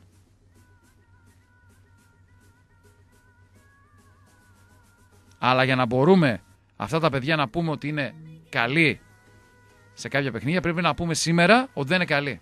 Και λέω αυτά τα πράγματα βάζοντας στην εξίσωση και τον Κολάσο, ο οποίος έχει πτωτική πορεία. Το λάθος που κάνει δεν το κάνει ούτε ο εξάχρονος γιος μου, Έχει βγάλει καταπληκτική ασή στον Μπέλκα ανάμεσα στους δύο αμυντικούς του Άρη. Πώς το κάνει αυτό δεν μπορώ να καταλάβω, χωρίς καμία απολύτως πίεση. Αλλά αν προσθέσω λάθη Σιώπη, λάθη Γιουνές, ήταν αλλού ο Γιουνές στο μάτς. Ευτυχώς ο Ερέρα τον έβγαλε στο 45. Και διαφωνώ κάθετα με όσους ξεφωνίζουν τον Ασλίδη που σίγουρα δεν έχει την ποιότητα που έχει ο Γιουνές. Αλλά συγκριτικά με τον Γιουνές πρόσφερε πολλά παραπάνω. Και να σας πω και κάτι. Τίποτα να μην έκανε ο Νασλίδης. Το πέναλτι που κάνει ο Γιουνές είναι ανόητο. Η μπάλα χτυπάει στο χέρι. Εμείς δεν είμαστε πάοκ να κάνουμε το άσπρο μαύρο. Δεν ξέρω αν κάποιοι θέλετε να κάνουμε αυτό το πράγμα. Δεν είναι βέβαια κίτρινη κάρτα. Όπως σας παραπληροφορούν ορισμένοι.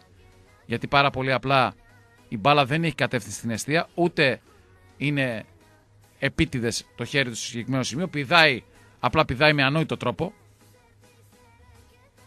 Είναι πέναλτι.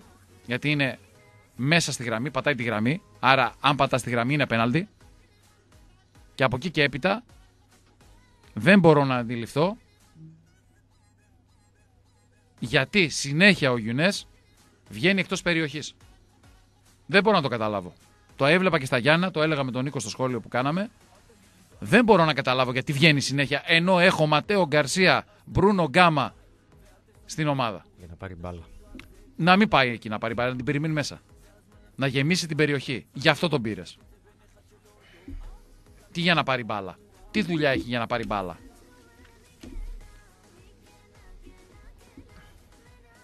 Εγώ δεν θα τον ξεκινούσα την Κυριακή. Αν είχα τον Μπρούνο Γκάμα. Επειδή δεν έχω τον Μπρούνο Γκάμα θα τον ξεκινήσω. Πες το, πάρε τον Πάκο λίγο. Πες ο Χρήστος είπε αυτό. Να πει ο, ο Πάκος στα παπάκια μου. Γιατί έτσι πρέπει να κάνει ο προπονητής, ό,τι και να λέω.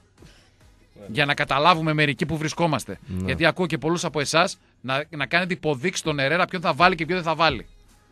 Είναι άλλο να λες την άποψή σου, όπως την κάνουμε και εγώ και ο Νίκος. Πόσο μάλλον όταν εμείς έχουμε και την ευλογία να τα επικοινωνούμε όλα αυτά μέσω του All About Aris ή όποιο άλλο μέσο συνεργαζόμαστε. Κυκλοφορεί Aris το, το Σάββατο. Παπάδες έχω γράψει, να ξέρετε. Λοιπόν. Και είναι άλλο που ακούω δύο-τρει που βγαίνουν και κουνάνε το δάκτυλο στον Πάκο Ερέρα. Λέγοντας μάλιστα. Έχουμε παίξει εμείς μπάλα και ξέρουμε στην Αία Χαριλάου. Χάνουμε το μέτρο μερικές φορές. Έχω πει για 5-6 παίκτες. Όπως αντιλαμβάνεστε, είπα για τους παίκτες που θεωρώ ότι δεν ήταν καλοί. Είτε στο μισό, είτε σε όλο το παιχνίδι.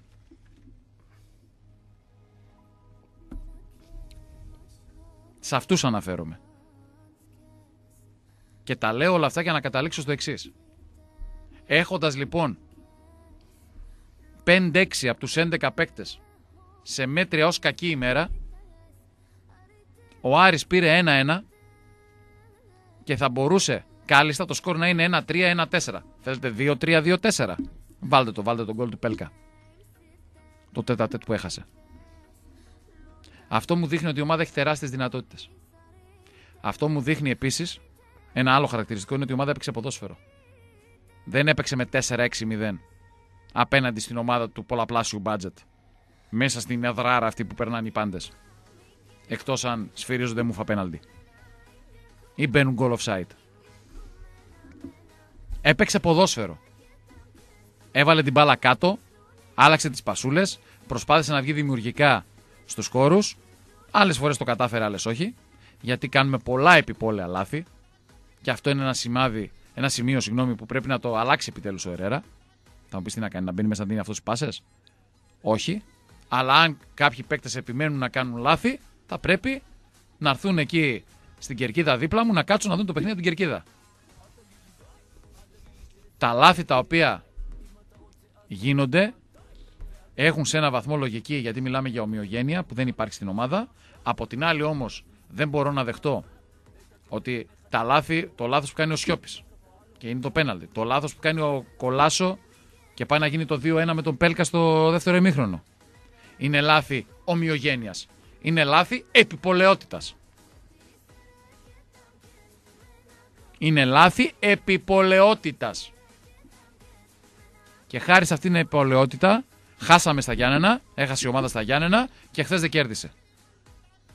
και προτιμώ αυτή τη στιγμή που κάποιοι πλέ είστε σε πελάγια ευτυχίας να πω τα λάθη από το να υμνήσω για να είμαι αρεστός σε κάποιους ποδοσφαιριστές κάτσα πιο καφέ μόνος μου γιατί δεν πίνω με τους παίκτες για να μπορέσουμε να αποκαταστήσουμε 5-6 πραγματάκια.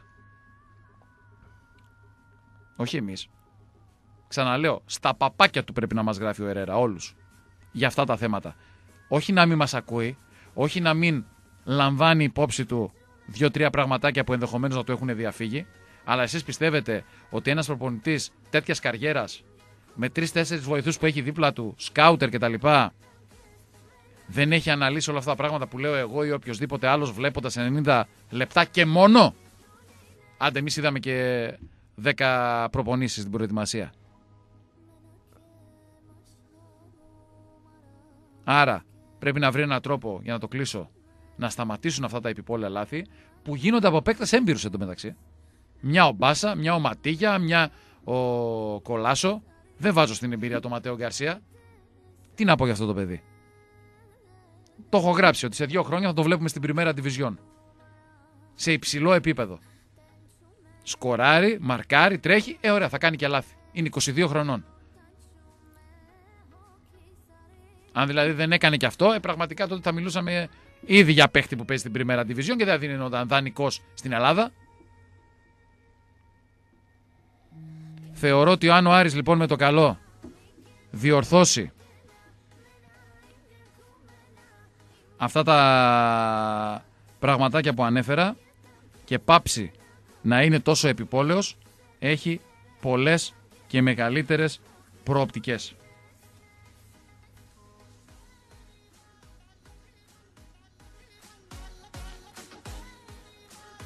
Και με το Γιουνές, τι φίλε, σαν να μην ακουγόμουν. Και με το Γιουνές, στην κορυφή, που τον θεωρώ πολύ καλό ποδοσφαιριστή. Και με το Σιώπη, που το θεωρώ την καλύτερη επιλογή για τα χαφ που θα μπορούσε να κάνει ο Άρης αυτή τη στιγμή και θέλω να τον δω πραγματικά σε όλο το παιχνίδι με τον Μπάσα και με όλους τους ποδοσφαιριστές που αν μη τι άλλο δείχνουν ότι είναι επιλογές value for money. Και ίσως να μην είμαι σωστός αυτό που λέω γιατί αξίζουν περισσότερο και προσφέρουν περισσότερο αλλά εκνευρίζομαι όταν έχω απώλεια είτε βαθμών, είτε στόχων, είτε ενός παιχνιδιού από επιπολότητα. Είναι το μόνο πράγμα που με, που, με, που με τρελαίνει. Όταν η ομάδα είναι επιπόλαια. Αυτά. Τρία εισιτήρια για το ποδόσφαιρο και τρία για το μπάσκετ. Πάμε σε break. Libero 107,4 All About Aris on Air. Για λίγο ακόμα θα πάμε παρέα μέχρι και τις 7. Κληρώνουμε... Ναι. Κληρώνουμε τρία εισιτήρια για το ποδόσφαιρο, τρία για το μπάσκετ. Γράφεται FM, αφήνεται κενό. Ονοματεπώνυμο Αστέρας στο 54526. FM κενό, ονοματεπώνυμο, ονοματεπώνυμο Νίσνη. Μην σας βάλουμε να γράψετε και Novgorod. Νίσνη σκέτο. Mm. Το στέλνετε στο 54526 για να μπείτε στην κλήρωση τα εισιτηριάκια που θα δώσουμε λίγο πριν τις 7. Ανοίγουμε τις τηλεφωνικές γραμμούλες. Ένας φίλος μου λέει: Ρε, χθες έκαψαν λέει, μια κουβέρτα του Άρη στο γήπεδο. Ναι, ναι, όντως. Την ψήρισαν λέει από καμιά νοικοκυρά. 2-31-0, 2-87 και 3 οχτάρια. Λοιπόν, ανοίγουμε τις γραμμές. Η ομάδα έδειξε χαρακτήρα. Λέω 7,79. Mm-hmm. Μετά το 25. Κάναμε τα χειραγωγημένα μέσα της πόλης να βρίσκουν δικαιολογίες για ΠΑΟΚ. Το μυαλό μας με Τρίπολη με μίνιμουμ 20.000 κόσμο. Λέω 7,79. Ο ΠΑΟΚ είχε το μυαλό στον Ολυμπιακό, λένε κάποιοι. Ε, τον είχε, εντάξει, τι να κάνουμε τώρα. Το είχε, σίγουρα το είχε. Και εσύ το είχες στην Τρίπολη. Ε, ναι, αυτό Παίζει ρόλο, ρε παιδιά. Δεν μπορούμε να το αναιρέσουμε.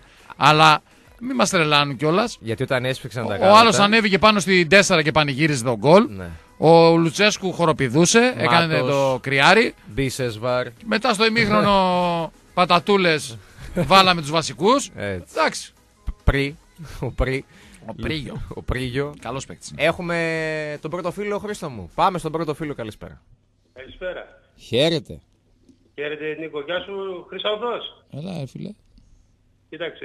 Ε, η ομάδα, φίλε, με βγάζει πολύ θετική ενέργεια. Ναι, αλήθεια είναι Βέβαια αυτή η ομάδα θέλει τον χρόνο της για να μπορεί να κάνει πολύ καλά και ωραία πράγματα. Σωστό. Θέλει χρόνο, είναι αλήθεια. Ναι. Και το θέμα είναι, φίλε, εγώ νόμιζα ότι ο, ο Γκιάρο ξαναπέζει στον Άρη μπάλα. Με μουσι όμως. Δεν έχει σημασία.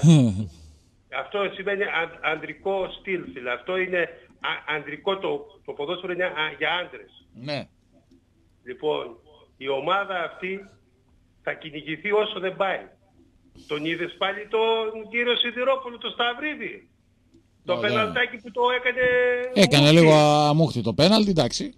Ναι. Δεν μου Αλλά, λες- αλλά δεν νομίζω ότι χθες είχε πρόθεση.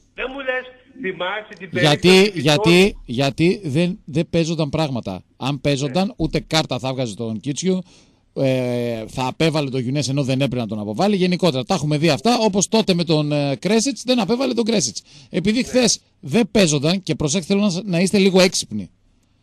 Δεν χρειάζεται σε αυτό το μάτς να φωνάξω. Ε, είναι- Κοίταξε, 21 Οκτωβρίου είναι το μάτς. Χρυσανθέ, Και εκεί κάνουν focus και οι δίπλα. Γι' αυτό Όπως είναι χαμηλά τώρα η μιλά- μπάλα σήμερα. Ναι, όπως τώρα μιλάω σε σένα, χθες το βράδυ πήρα και στην Έρα Σπορ, έτσι. Συγχαρητήρια. Μια μισή ώρα ήταν κάποιος Δημήτρης, είναι, δεν θυμάμαι, Μόρας, λέγεται Μόρας πρέπει να λέγεται. Ναι. Λοιπόν, θέλω να σου πω κάτι. Θυμάσαι την περίπτωση Φιτόλο με έναν ε, Πορτογάλο που έχει ομάδα από δίπλα. Που τότε που τον ε, δίθεν το χτύπησε και τι γινόταν στα μέσα της πόλης; Ναι. Δεν μου λέτε, για τον Μπρούνο Γκάμα που έγινε αυτό προχτές, που λέγεται ότι δεν είναι πέναλτι, γιατί δεν τον έδωσα ρε φίλε κόκκινη κάρτα; Και ο- έχασα και σημαντικό παίκτη, έτσι. Όπως γινόταν με τον Κάρλος Ρουίς που πάλι τότε το 0-1 πάλι και έχασα παίκτη. Και άλλες τέτοιες περιπτώσεις, αυτή η μεγάλη ομάδα ρε φίλε, με εκείνα τα καδρόνια των στα- των στόπερ τους που κοστίζουν 4 εκατομμύρια, θα μας πούνε επιτέλους ποιοι είναι οι βασικοί τους παίκτες; Καλά, εδώ είχαν Ο προσπαθήσει. τερματοφύλακας στοιχίζει ως πέντε τερματοφύλακες του άλλου, ο Αργεντίνος αυτός ο Ρέι. Εδώ είχα προσπαθήσει να μειώσουν τον τερματισμό του Καράμπελα, του Γεωργιάδη. Πήγε να το κόψει Ναι. την καριέρα εκεί πέρα. Εντάξει. Θα μας πούνε γιατί τα, τα χαφ τους, ο ένας ο Σουηδός κοστίζει 2 εκατομμύρια λένε. Εκτός αν δεν είναι ευρώ και είναι ρώσικο το νόμισμα. Καλώς να του τα δώσουν. Έγινε Νίκο. Δεν με ενδιαφέρει ρε φίλε τι θα του δώσουνε. Μένα με ενδιαφέρει πώς αντιμετωπίζει τη ομάδα μου από τους ε, Σταυρίδες και τους ε, αυτόν εδώ από το Σωστό. Ρεόκαστρο. Το Ρεόκαστρο. Ναι. Πολύ ωραία μαγαζιά έχεις το Ρεόκαστρο. Να σε καλά. Next. Έπεσε. Το έριξε όλο το κέντρο Νίκος. Πω, ρε φίλε. 2-31-02-87 και 3 οχτάρια ανοιχτές οι τηλεφωνικές μας ε, γραμμές. Για λίγο ακόμα, για κάνα δεκαλεπτάκι. Που θα πάμε. Έχει παρέα. δει και ένας φίλος ότι το τριπλό φάουλ στον Γκάμα εκεί θέλει και δεν το δίνει ο Σιδηρόπουλος. Εγώ, θε- εγώ θεωρώ ότι σου λέει εδώ που είμαστε τώρα στο 83, άσε να βγει ένα-ένα το μάτζ να τελειώσουμε τώρα. Μωρέ τώρα, τώρα. Πού να το δώσει τώρα φάουλ απέναντι από την αιστεία, βάλει κανένα γκολ εκεί πέρα, τρέχουμε μετά. Άστο να το πάω ένα-ένα το ματσάκιον να τελειώνει τώρα. Εγώ νομίζω έτσι το, έτσι το, έτσι το είδε. Ε, υπάρχουν φάσεις και από τις δύο ομάδες.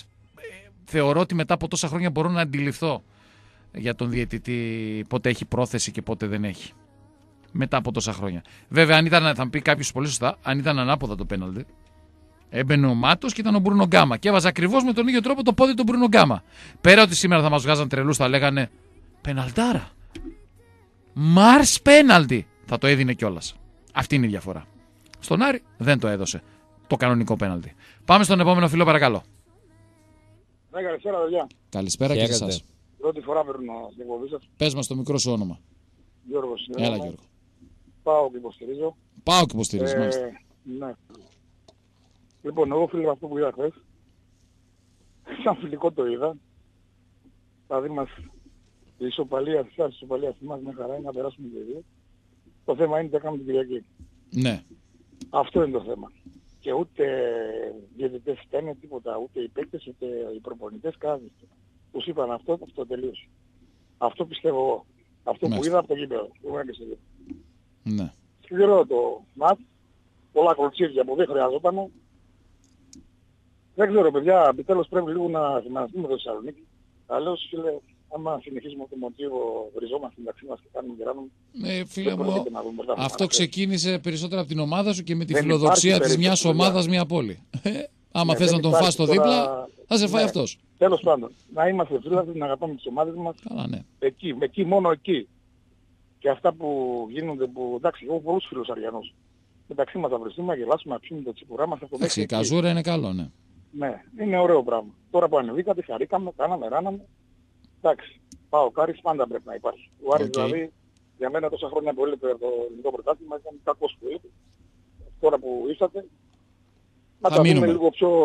Να, ναι, να μείνετε, γιατί να μην μείνετε. Εντάξει. Δεν Να είσαι υπάρχει καλά. περίπτωση.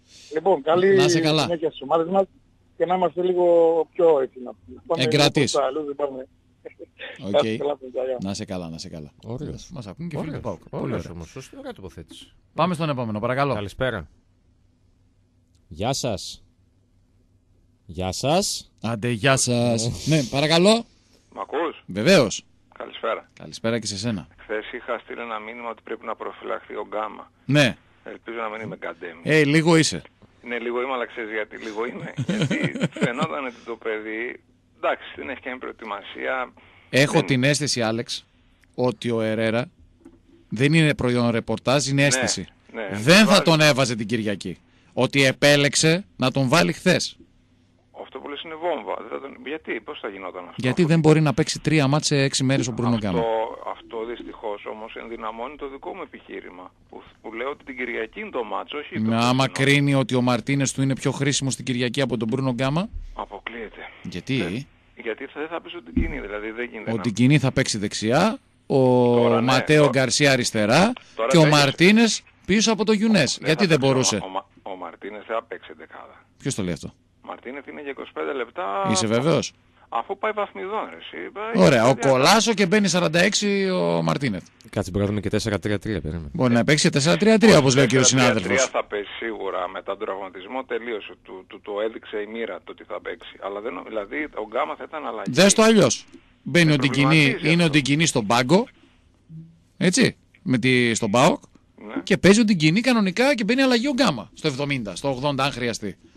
Δεν μπορεί ο Γκάμα να παίξει. Εγώ αμφιβάλλω αν μπορούσε να παίξει και δύο μάτς. Ή θα μπορούσε να το βάλει και να τον έκανε αλλαγή. Συμφωνώ. δηλαδή, Αυτό θε- θέλω να πω όμως. Ναι. γενικά, Ότι ε, εγώ τον θεωρώ τον Γκάμα παίκτη ε, βασικό όμως. Δεν το θεωρώ ότι θα ρισκάρει ο Άρης να τον αφήσει εκτός εντεκάδας σε ένα ματς σαν της Κυριακής. Δηλαδή μπορεί ακόμα το παιδί να μην είναι αυτό που φανταζόμαστε, αλλά έχει δύο-τρεις φάσεις που μπορεί να κάνει Ε, θε- ο- Εν ολίγοις θέλω να πω ότι παραδώσαμε σημασία σε αυτό το παιχνίδι.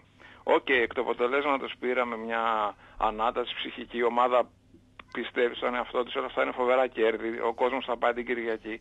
Αλλά έχω την εντύπωση ότι λίγο το παρακάναμε ας πούμε. Δεν θα με πείραζε εγώ να δω ένα άλλο σχήμα, να δω το, τον Γκάμα, να μπαίνει αλλαγή ή κάτι τέτοιο. Παραπήγαμε... Δεν ξέρω, δεν ξέρω τι έχει στο μυαλό του Ναι, ο κανείς δεν μπορεί Ερέρα, να ξέρει, κανείς δεν αλλά μπορεί έχω να την ξέρει. αίσθηση ότι τρία παιχνίδια τον Γκάμα δεν θα τον έβαζε Ακριβώς. σε καμία των περιπτώσεων. Άρα, αφού Ακριβώς. επέλεξε να τον ξεκινήσει χθες, Λες ότι μπο- οκ, δεν θα τον δεκτό. είχε την Κυριακή. Αυτή την αίσθηση έχω. Κυριακή- Την Κυριακή είναι ένα φοβερό ματς. Εμείς πρέπει να κατεβούμε με τρεις στο κέντρο για να τους πάρουμε το κέντρο. Γιατί αυτοί θα έχουν ε, ε, Τόνσο, Ιγκλέσιας, Μουνάφο. Ο Τόνσο παίζει πιο μπροστά. Είναι διάβολος ο Τόνσο. Είναι πολύ καλός παίκτης. Λένε Τον ότι ήθελε είναι ο το Άρης αντίθετο. Το Τον καλοκαίρι. ήθελε ο Άρης, μα έκλεισε τελευταία μέρα στην Τρίπολη με τα περσινά του. Ναι. Ο, στον Άρη ήθελε 400 τον Ιούνιο και τελικά έκλεισε στην Τρίπολη με Έτσι τα είναι περσινά αυτά. του. Εσύ Αλλά πήρες είναι το μαύρα ή έτσι; είναι τρομερός παίκτης. Είναι πολύ επικίνδυνος. Ε, λένε ότι είναι ασταθής, δεν ξέρω τι. Γενικά το μάτι που το μεθαυριό είναι Θα πω φοβερό λίγο τον μάτς. Μπάσα να πάω να του δώσει μια κλωτσιά. Είναι μάτς εξάποντο. Είναι μάτς Έτσι που αν είναι. κερδίσεις είσαι πολύ καλά. Είναι όλα δόξα τω Θεώ. Είναι μάτς που αν φέρεις χ δεν το θέλουμε και είναι μάτς που αν χάσεις είναι πάρα πολύ δυσάρεστο. Βάσει Άρα, απόδοσης, αυτή τη στιγμή, αυτό που θα πω τώρα θα ακουστεί λίγο σκληρό, ο Αστέρας είναι καλύτερος από σένα. Ε, αυτό- γι' αυτό σήμερα. το λέω. σήμερα. Είναι. Φοβάμαι ότι σήμερα μπορεί να είναι και ο Ατρόμητος. Ο Ατρόμητος ομάδες- δεν είναι, όχι. Είναι μπαρουτοκαπνισμένες, είναι έτοιμες ομάδες. Απλά Ο έχουν Ατρόμητος- παίξει Ευρώπη, έχουν ετοιμαστεί περισσότερο, έχουν μια Αυτό είναι- συνοχή από κοίτα, πέρσι. Αυτό είναι μία παράμετρος. Η άλλη είναι ας πούμε ότι ο Ατρόμητος παίζει στην έδρα του χωρίς κανένα άγχος και έχει μονάδες που είναι πολύ παραγωγικές. Δεν φοβάμαι τον Άρη ούτε μες στην Τρίπολη ούτε στο Περιστέρι. Εδώ τον Φοβάσαι φοβάμαι. Χαριλάου. Ε, Ναι. και εγώ. Γι' αυτό λέω ότι είναι τρομερό ματς, μακάρι να κριθεί να έχουμε μισή φάση όπως να είναι. Εδώ και πέρα δεν τελειώνει τίποτα. Οκ. Όχι, όχι, αλλά Το όχι θες θέλει όμως. χρόνο. Απλά να σου Ο πω, Άρης θέλει- αν κερδίσεις αυτό το ματς όπως λες, ε, έχω την αίσθηση ότι μετά πρέπει να αυτοκτονήσεις στην κυριολεξία για να μείνεις στην πεντάδα. Πρέπει να αυτοκτονήσεις. Μετά πρέπει να κάνεις τα Συμφωνώ. αυτονόητα. Εγώ δεν είπα να πάει να Συμφωνώ. κερδίσεις την ΑΕΚ, τον ΠΑΟΚ, τον Ολυμπιακό κτλ. Όχι. Πρέπει να κάνεις τα Επίσης, αυτονόητα. κερ- Κερδίζοντας την Κυριακή έχεις την πολυτέλεια, τη δυσάρεστη που δεν το θέλω να το πω, ότι μπορεί να φέρεις Χι στον Πανιόνιο και να είμαστε εντάξει. Δύσκολο ματς είναι και εκείνο. Και εκείνο είναι τραγικά δύσκολο. Γι' αυτό Έτσι. λέω ότι την Κυριακή πρέπει ο κόσμος να το έχει υπόψη του και η ομάδα. Νομίζω η ομάδα το έχει όμως. Ναι. Έτσι, έτσι φαντάζομαι και έτσι θα τη δούμε μες στο γήπεδο. Να είσαι καλά, Άλεξ. Αυτά, γεια. Επόμενος, παρακαλώ. Ναι. Περίμενε τόση ώρα για να μας το κλείσεις. Next. Καλησπέρα. Καλησπέρα και σε εσάς. Λοιπόν, πώς να τη γλίτωνε χθες ο Γκάμα ρε Χρήσανθε. Τι Πώς να εννοείς; την γλίτωνε; Πήγε ο άλλος, τι εννοώ, πριν τραυματιστεί, πριν από 4-5 λεπτά, πάει ο άλλος τον κάνει τάκλινο, όχι στην καροτίδα. Πάει να του κόψει το ποδόσφαιρο. Ο άνθρωπος αυτός που μας ζαλίσαν όλο το καλοκαίρι, όχι θα πάρει 2,5, όχι το Κόκκινη είναι. σχολείο του γιου, Κόκκινη είναι αυτό. που ήτανε, που ήτανε και πολεμούσε εκεί με τις ρώσικες αρκούδες. Σε παρακαλώ πολύ. Όποιος διαιτητής άλλος απορώ, πραγματικά απορώ που λες, ο, πώς τον λέγανε χθες, ο Σιδηρόπουλος, Αυτός. ήταν... Τι να το κάνω ρε Χρήσανδε αυτό, το τι να το λήξει ένα-ένα, φάνηκε. Εμένα, εγώ, Ένα αυ- εγώ φάουλ αυτό στον κατάλαβα. Άξονα, ένα φάουλ στον άξονα υπέρ του Άρη έδωσε. Ε, Έδωσε κανένα δυο, αλλά, Ποιο, ποιο, ποιο, για να θύμισε μου ποιο. αλλά απ την περι... προς την περιοχή μας. Στο- ε, ε, αύριο, τώρα το διόρθωσε. τώρα το διο... Όπου γινότανε φάουλ και ήταν στην πλάγια γραμμή, σφρρρ, σφύριζε. Κοίταξε. Τον άξονα δεν είναι μόνο τα τρία, Η- τα τρία η- φάουλ που γίνονται ξέρεις στον τι, κάμα και λέει παίζεται. η αλήθεια είναι είναι ότι- μπροστά του, είναι στα 5 μέτρα. Άμα Ε, ξαναδείς τη φάση, είναι στα 5 μέτρα. Επειδή έχουμε συνηθίσει σε κάτι 80, 20, 90, 10 Ε, όχι, εκεί, ξέρεις τι γίνεται. έδωσε Ναι, κανένα αλλά- δυο σφυρίγματα κανονικά και Ναι, μας ρε, φάνηκε φίλε, λίγο αλλά να σου πω περίεργο. κάτι, ε, δεν μπορώ να σου πω κάτι. Δεν γίνονται αυτά τα πράγματα γιατί δεν μπορώ άλλο πλέον να συνηθίσω ε, μετά από 30 χρόνια που βλέπω ελληνικό πρωτάθλημα κάθε χρόνο να λέω έλα μωρέ, Επειδή- είμαστε στο 80-20 μας έπεσε, μας έπαιξε 68-32. Επειδή δεν είχε σημασία έγινε αυτό. Α, επειδή δεν είχε σημασία. Αν είχε Δηλαδή, το θέμα- σημασία, κανένας Κίτσιου δεν θα έπαιρνε την κάρτα όπως έπρεπε να την πάρει. Κανένας Γιουνές δεν θα έμενε στο παιχνίδι ενώ έπρεπε να μείνει. Θα γινόταν καταστρατήγη στον Και κανονισμό. γιατί να το βάλω εγώ δηλαδή ότι εφόσον το ήθελε και ήταν ανάποδη φάση όπως είπες, με τον ε, Μάτος και τον ε, Μπρούνο Γκάμα θα το έπαιρνε. Είναι καθαρό, πε- καθαρό πέναλτι είναι. Η μπάλα φεύγει, τριπλάρει, πάει να απλώσει το, το απλώνει μάλλον ο Μάτος το πόδι, δεν προλαβαίνει να το πάρει πίσω και χτυπάει τον Η Γκάμα. αλήθεια είναι ότι δεν είναι εύκολη φάση, γιατί Όχι, εμείς δεν το είπαμε βλέπουμε το ότι είναι replay. εύκολη. Αλλά αν την έδινε, αν θα την έδινε, αν ναι. το έδινε χθες, θα το έδινε χθες αν το στους έδινε το άλλους. πέναλτι χθες, θα υπήρχε κάποιος να το πει, ε εντάξει δεν έπα το δώσει και ή να έχει διαμαρτυρίες. Όχι, δε- μόνο αυτοί θα διαμαρτύρονταν. Α, θα διαμαρτυρόντουσαν, θα λέγανε ε, γιατί το έδωσες. Όχι ότι θα γινόταν σήμερα το πρωί, θα βγάλανε, θα βγάζανε εφημερίδες και θα λέγανε σφαγή του ΠΑΟΚ. Έτσι. Αν ήταν σήμερα, εγώ θα, θα στη θέσω αλλιώς την ερώτηση. Αν ήταν χθες έπαιζε ΠΑΟΚ Ολυμπιακός και δεν έδινε τέτοιο πέναλτι του ΠΑΟΚ, στον ΠΑΟΚ δηλαδή υπέρ, σήμερα θα παίζαν καζαντζίδι όλοι. Θα σου πω ποια είναι η αλήθεια, φίλε μου. Νίκος Όλη η Ξανθόπουλο, αλήθεια, μάνα, δεν έχω πατέρα, δεν έχω, όλοι με πολεμάνε. όλη η αλήθεια είναι η εξής. Στο ένα ραδιόφωνο βγαίνει ο Σταυρίδης να σχολιάσει τις φάσεις. Α, τι- Και τι στο, τεράστια άλλο, συζήτηση. και στο άλλο βγαίνει ο Καλόπουλος. Εκεί σταματάνε όλα. Α, εκεί σταματάνε όλα. Ναι, Στο αλλά ένα εγώ- μέσο εγώ- βγαίνει ο Σταυρίδης να σχολιάσει τις φάσεις και στο άλλο ο Καλόπουλος. Όσοι ξέρουν τι είναι Σταυρίδης και τι είναι Καλόπουλος, πάβει να συζητάμε για φάσεις. Γιατί θα μας κάνουν Γι' το αυτό- άσπρο μαύρο. Γι' αυτό, επειδή παικτικά δεν θέλω να αναφέρω για την ομάδα μου, γιατί αυτό περίμενα. Εγώ την ομάδα την έχω εμπιστοσύνη. Γι' αυτό αναφέρω μόνο για την Τετσία. Την έχω απόλυτη εμπιστοσύνη. Μου έδειξε πράγματα, μου έχει δείξει πράγματα με τα λάθη της. Είναι μια καινούργια ομάδα. Έχω μόνο καλά να περιμένω. Εγώ φωνάζω από τον Ιούλιο, ακόμα όταν πολλοί φωνάζαν από τον Ιούνιο μάλλον, ότι πρέπει ο Καρυπίδης να δώσει την ομάδα στον Παπαδόπουλο και χίλια δυο. Ναι, βέβαια. Έλεγα ότι αφήστε τον είναι πάνω στο άλογο, αφήστε τον να δουλέψει. Με θυμάσαι και θυμάσαι πολύ Βέβαια, τα το έλεγα. έλεγες, ναι. Βγήκα μόνο να μιλήσω για την ε, διαιτησία, γιατί πραγματικά είναι ξεφτιλίκι, ξεφτιλίκι, δεν χαρακτηρίζω τους ανθρώπους, είναι ξεφτιλίκι οποιοδήποτε κάνει μια δουλειά να σου φέρουν ξένο, είτε λέγεις δημοσιογράφος, είτε λέγεις οπωσδήποτε, σαν να σε λέω εσένα τώρα στη θέση Ε, που μόνο έχεις, εμείς θα φέρω μιλάμε. Ξένο δημοσιογράφο, Μόνο εμείς ξένο μιλάμε. δημοσιογράφο γιατί εσύ δεν κάνεις καλά τη δουλειά σου. Στο ποδόσφαιρο μόνο εμείς μιλάμε να έρθουν ξένοι. Και αυτοί οι άνθρωποι, Χρήσανθε, δεν ντρέπονται.